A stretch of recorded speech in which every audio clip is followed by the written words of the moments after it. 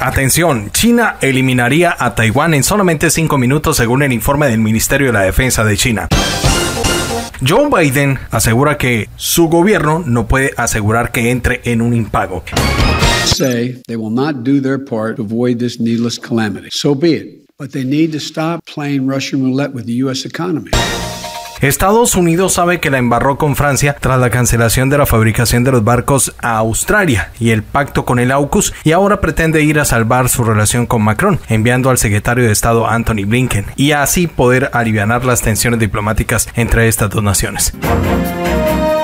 Fuerzas rusas bombardean Idlib continuamente después del intento de agresión a una base aérea a las fuerzas aeroespaciales rusas. Japón y Estados Unidos realizan ejercicios militares en medio de las tensiones con China. El sistema de defensa de guerra electrónica ruso Murmansk por primera vez pudo influir en las instalaciones militares de la OTAN y habrían quedado sin comunicación. ¿Qué hay detrás de los papeles de Pandora? Les tenemos los detalles al respecto. Revisar de nuevo toda esa fuga de capital. Hay que ver cómo se resuelve y sobre todo que los que sacan dinero que no evadan impuestos ver si existen delitos que perseguir en todos estos casos y abrir investigaciones.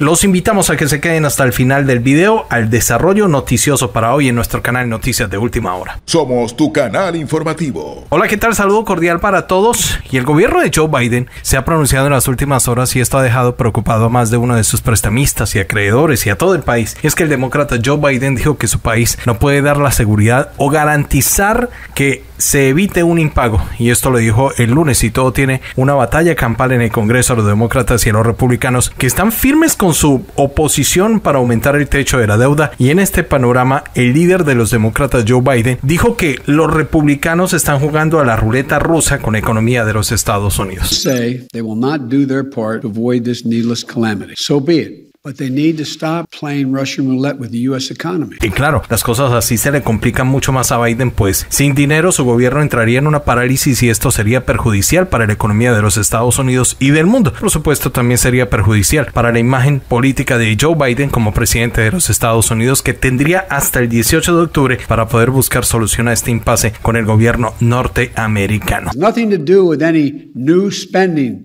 being considered. The reason we have to raise the debt limit is in part because of the reckless tax and spending policies under the previous Trump administration. Noticias del Mundo. Mucha atención, amigos de Noticias de Última Hora, porque se sabe que en las últimas horas fuentes del gobierno chino han puesto con preocupación a las autoridades y sus aliados en Taiwán, pues en caso de un conflicto a gran escala la República China de Xi Jinping destruiría de insofacto a Taiwán en cuestión de minutos. China se hartó de las provocaciones y esto lo toman como una seria advertencia en la isla, pues los intentos de Taiwán de mostrar músculos y cometer serias provocaciones contra la República Popular China han llevado al hecho de que Beijing con toda seriedad del caso, esté demostrándole a Taiwán su disposición de atacar la isla e invadirla para reunificarla a China.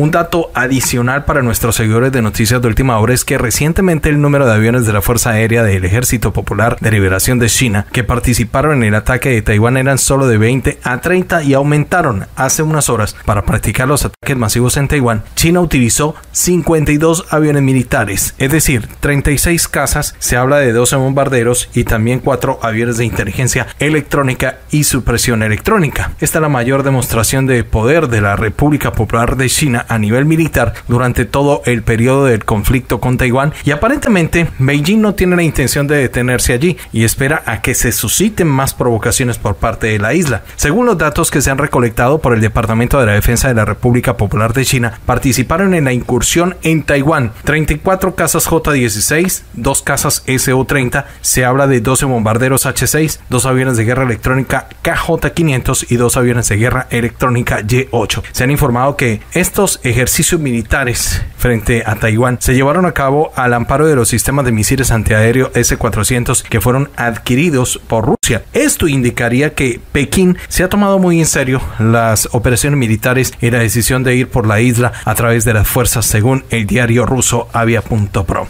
Estas son las noticias más importantes del momento. Estados Unidos sabe que la embarró con Francia y que le metió una puñalada por la espalda tras eh, hacer echar para atrás el contrato, es decir, la compra de los buques tradicionales de Australia a Francia. Y es que las cosas no están para nada bien para Estados Unidos porque si bien es cierto que la relación entre Norteamérica y el Reino Unido es fuerte, Francia se está encargando de que se le volteen algunas naciones en contra a los Estados Unidos. Incluso ha pedido que Europa debería de tener su propio ejército y que no debería depender de los Estados Unidos y esto pues tiene un poco preocupado a la administración de Joe Biden y su política de influencia internacional. Es decir, la crisis diplomática es total entre Francia y el AUKUS o más bien entre Francia y Estados Unidos. Y aquí se ha demostrado quién es quién y a Francia lo han puesto a bailar con la fea. Pero se ha puesto los pantalones bien amarrados Macron y le está haciendo la mella a los Estados Unidos en Europa. Y por esto la nación norteamericana en las últimas horas ha decidido enviar a su secretario de Estado Anthony Blinken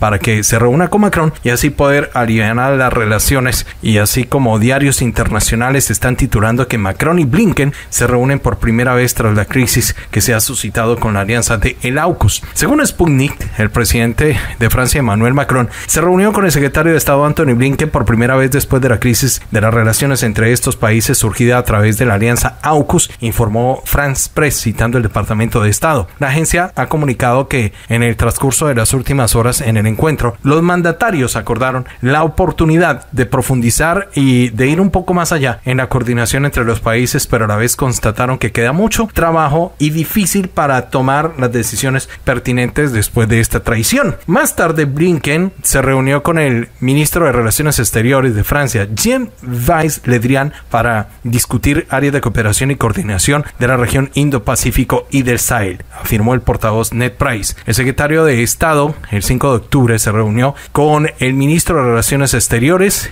junto con el secretario Blinken, en Francia y el ministro de Relaciones Exteriores Ledrian cerraron consultas como lo acordaron el presidente francés y el presidente Joe Biden en la llamada telefónica el 22 de septiembre, dijo Ned Price. Los funcionarios también acordaron permanecer en contacto discutiendo cosas importantes, por ejemplo el tema en Afganistán para que se cumplan los compromisos. Y también hablaron de cooperación, hablaron de coordinación, incluso de la región Indo-Pacífico, Israel. Ambos también estuvieron impactados en la importancia la cooperación entre Estados Unidos y la Unión Europea durante la presidencia de Francia en el Consejo de la Unión Europea. Asimismo, también discutieron fortalecer la organización del Tratado Atlántico Norte, el apoyo de Estados Unidos a la seguridad europea y la crisis diplomática, y también enmendar los lazos entre Washington y París, que se rompieron a causa de el AUKUS, y allí se está hablando, por ejemplo, de recuperar la confianza entre estas dos naciones. Recordemos que el 15 de septiembre Estados Unidos, el Reino Unido y Australia anunciaron el pacto en materia de defensa con el nombre de AUKUS, que buscaba defender los intereses de los países en la región Indo-Pacífica. El primer ministro australiano Scott Morrison anunció que Canberra echaba para atrás el contrato por 66 millones de dólares firmado con la francesa Naval Group, decisión que París ha calificado como la puñalada por la espalda. Vamos a avanzar con más información. En las últimas horas, Japón y Estados Unidos han realizado entrenamientos de despegue y aterrizaje de los cazas F-35 en medio de las tensiones con China. Las fuerzas de autodefensa de Japón dieron a conocer a través de la red social Twitter que han completado con éxito entrenamientos de aterrizaje y despegue de los cazas F-35 de la Infantería de la Marina en sus portahelicópteros modificados y Sumo. En una conferencia, el ministro de Defensa japonés Kishinobuo confirmó esta información que la operación fue llevado a cabo cerca de las islas Shikoku, recoge Kyodo, diario internacional. El funcionario también habló del objetivo que era resolver los problemas de la incorporación de los F-35 a la Fuerza Aérea de la Autodefensa Nipona. También dijo que ayudarán a mejorar la interoperabilidad de los ejércitos de Japón y Estados Unidos. El incremento de las tensiones con China en la región, las autoridades japonesas han tomado la decisión de convertir a sus portahelicópteros Izumo y Kaga en portaaviones. La Fuerza Aérea planea utilizar 42 casas F-35 a partir del 2024 y al mismo tiempo indican que este uso de las aeronaves en portaaviones podría saltar la constitución nipona. No obstante, los militares japoneses dicen que las modificaciones no tienen como objetivo fortalecer las capacidades de ataque de los buques, por lo que se realizan conforme al principio actual de la defensa del país.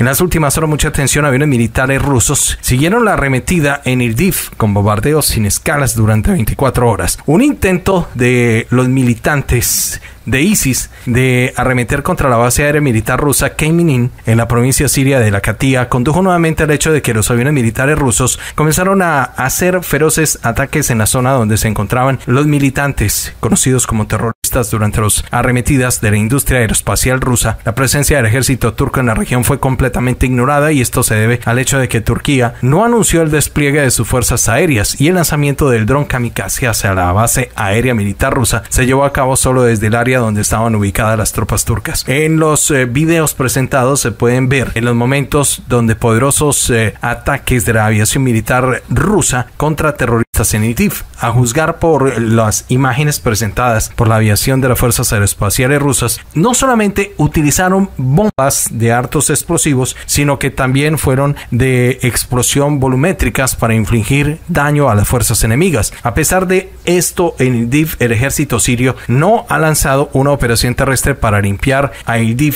de estos militantes y esto explica un cierto enganche en el Departamento de Defensa sirio, aunque fuentes de la CCA confirman que la información de la operación militar en Idlib ha sido aprobada por parte de las fuerzas sirias.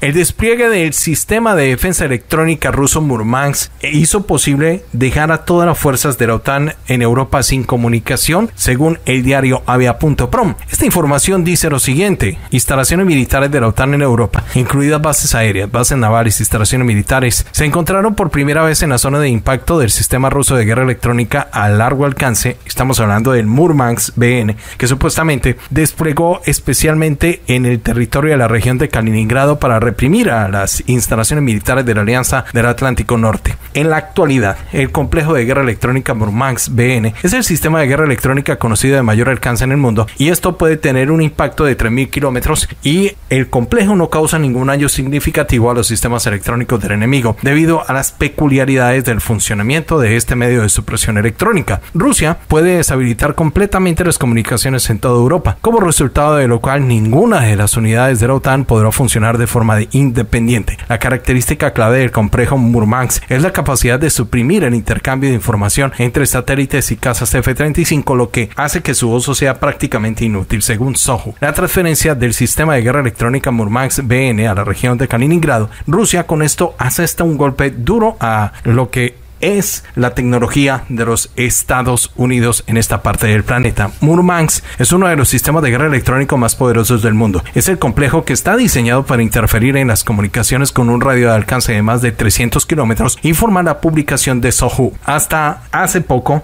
también se tenía información que el complejo Murmansk estaba ubicado solamente en la península de Kola. Ahora estos sistemas se despliegan a lo largo de todas las direcciones de la frontera rusa. Atención, información del momento momento. Mucha atención porque sigue adelante el tema de los papeles de Pandora tras la alianza de los medios internacionales que lo expusieron al público y en los que están develando a muchos jefes de Estado que tienen sus fortunas en paraísos fiscales donde pueden evadir impuestos a través de cuentas offshore, algo muy similar a los Panama Papers y este nuevo caso expuesto tiene bastante tela de dónde cortar. Y aquí es bueno señalar de entrada que no hay ningún político estadounidense vinculado y según expertos esta investigación fue hecha por medios corporativos periodísticos de Estados Unidos que regulan información a muchas empresas en Estados Unidos. Y es así como la CIJ, el Washington Post y The New York Times siguen dándole despliegue a esta investigación de la CIJ.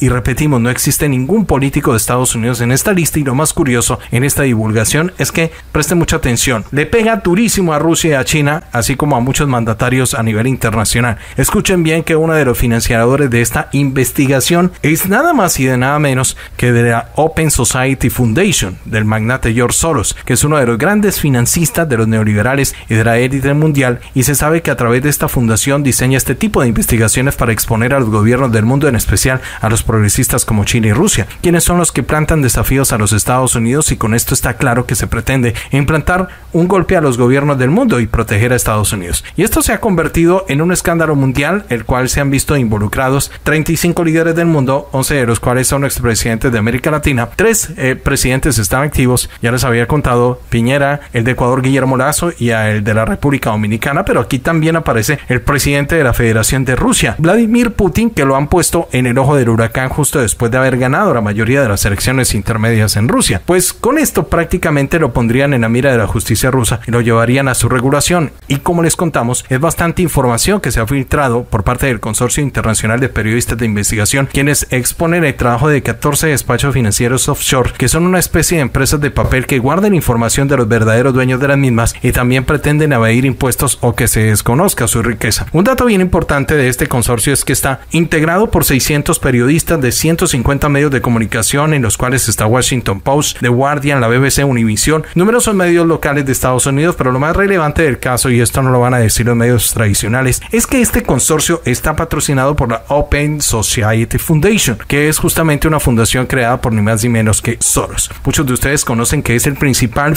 de grupos independientes que dicen que trabajan por la justicia, la democracia y la gobernanza de los derechos humanos en el mundo. Bueno, aquí se incluye a Vladimir Putin y fíjense que a Vladimir Putin pues tratan de buscarle el lado oscuro porque prácticamente se habla de que incluso pues aquí hay amantes del expresidente, amigos, gente muy cercana a él que se han enriquecido desde Mónaco hasta en otros paraísos fiscales y también amigos cercanos a Putin como el presidente de Azerbaiyán, Ilham Aliyev y el rey de Jordania Abdalá. En el caso de Vladimir Putin exponen una serie de documentos en donde se dan cuenta de la compra de un apartamento en Mónaco en España para un amante del presidente ruso y que fue creada a través de cuentas offshore para una mujer que fue limpiadora de bares y que ahora tiene una administración de un bar seminudista y todo indica según la investigación, que habría una hija de por medio que cumple 18 años. Y le adjudican una fortuna a la mujer creada a través de estas cuentas offshore. Y también se habla de amigos y gente cercana al mandatario ruso que se han enriquecido de forma similar con estas cuentas o paraísos fiscales. Bueno,